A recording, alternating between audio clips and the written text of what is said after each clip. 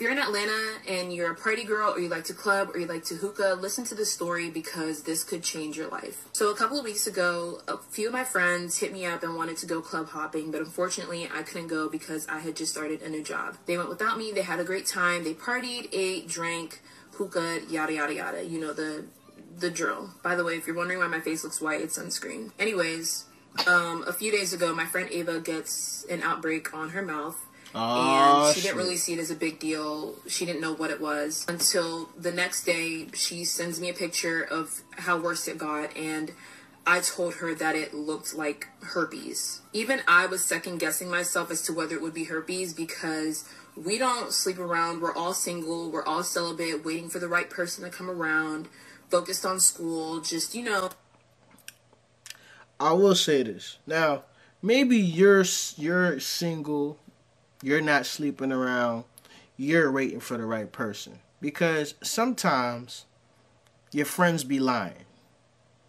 Okay? So don't don't put that on everybody.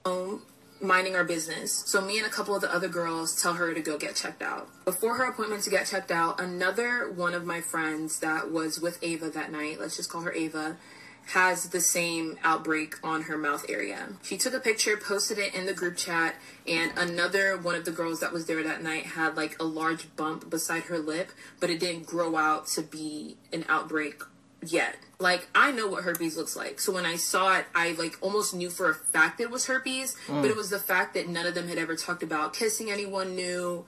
Um, none of us smoke. Um, you know what I mean? It was just really random for it to be herpes, especially for all of them. So the second girl who got the outbreak, let's just call her Melissa. Her appointment comes before Ava's, and um, the doctor is mentioning a bunch of ways where she could have got it, kissing, blah blah blah. Push comes to shove, they end up figuring out that she could have possibly gotten this herpes on her lip from the hookah. So when she tells us that that's what the doctor said, we're like, um, what the fuck? Like that's crazy. End up telling me that they only did hookah at one club that they went to. I don't want to say the name because I don't want to get sued for defamation or anything like that. But I believe they were at a bar or a section in the club and they were making friends with this girl who was there with her friend and she ended up leaving um, and gave my friends her hookah so they didn't have to buy one. And even though they all had new and different hookah tips, they weren't sharing their hookah tips.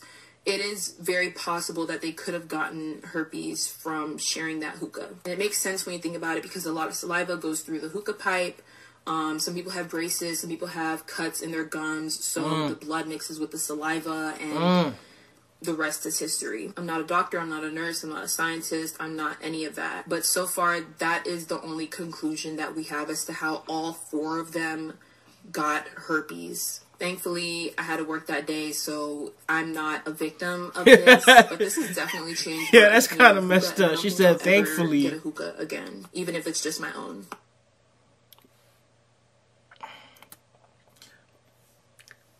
Did she say she'll never get a hookah again? I could have sworn that's what I heard her say. Bro, I've been partying in Atlanta for a long time. And one thing I can tell you, one, I don't smoke hookah, but one thing I could tell you is that I'm not randomly just taking hookah from nobody. You feel me? Eh, I'm not. I randomly. That's not. That's not something I do, bro. I just don't trust people like that. I just don't trust people like that. So the fact that your homegirls randomly was smoking hookah with a stranger, and the stranger left a hookah for them, so they don't have to buy one, and all that. Eh, it is. They did that to themselves. I'm gonna be honest with you. They did that to themselves. I'm not gonna call them names. I'm not gonna say nothing. I'm not gonna say nothing off the wall, but they did that to themselves. Uh, hopefully they learn their lesson. Next time you go to the club, buy your own hookah. Buy your own hookah. I know people always do this. They they wanna they wanna bum your section. You know what I'm saying? You got a section. You got whatever you got going on over there. They become friends with you so they could chill in your section with you and hang out with you and smoke your hookah and do all that. Buy your own hookah.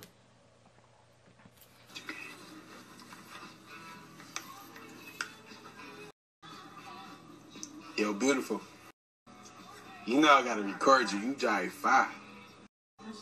Your dog looking crazy, man. Hey, yo, look, G. Look, I ain't gonna cap. That sex was fire, wasn't it?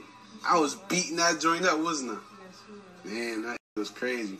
Hey, yo, I gotta tell you something, G. Why he sound ret- mm. Your boyfriend's my cousin. What? Your boyfriend Tyrone, Ty Bug, is my cousin. He told me to get in your inbox to see if you was gonna go. And you did. And we in this hotel room right now. Yeah, you know I mean? Please stop. Turn it off. I swear, yo, look, you think I'm playing? You're not about to do my cousin like that, G. It's over, man. I'm telling him. I'm telling him, G. It's, it's a dub. Nah, I'm through. Setting your girl up with one of your mans to see if she gonna cheat. That's um, that's kind of crazy. If you feel as though she gonna do all that, you might as well leave, man. Don't go through all that trouble. And then on top of that, I'm trying to figure out if he a savage for actually going all the way with her. But you know what? If you tell me, hey bro, go holler at my girl and see if she gonna go. I'm gonna do it. And I'm gonna do it all the way. The reason I'm gonna do it all the way is just in case you have a change of heart. To make sure you don't have a change of heart. To make sure that I, you know what, she she damn, I wanna take her back, but but she fucked my mans. Is that evil? I don't know. Maybe that's evil. You through. Please, let's just talk about this, dude. We don't What, are you following me for? What are you following? I'm about to bounce. I'm going to his crib and I'm showing him this video. Dude, no. Yes, I'm showing him this video with your pretty self. Okay. And that box was good, Okay, let it be good. You want more, right? Nah, I don't want no more. I did my job, I'll man. pay you.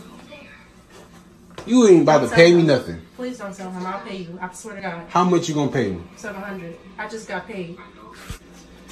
And you gonna pay me what? I'm gonna pay you seven hundred. All right, say that. Get put your clothes on. We about to go to the ATM right now. Is this real? Oh, that's a dirt bag, G.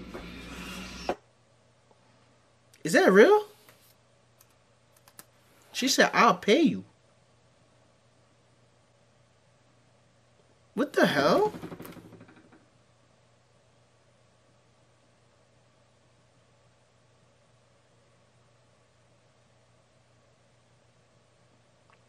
Confused. What?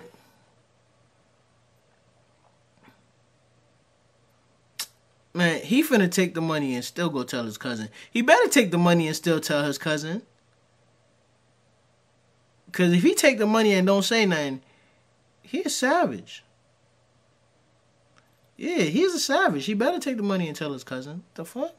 Alright, ladies and gentlemen, that's the video for today. As you can see, I don't have my hoodies on today because it's laundry day and I've been procrastinating on doing laundry today. But um I hope you enjoyed today's video. I'm gonna leave my link for Instagram, so you can definitely follow me on the gram, send me more videos, tag me in videos. A few of y'all have been doing a really good job of doing that, so I appreciate that.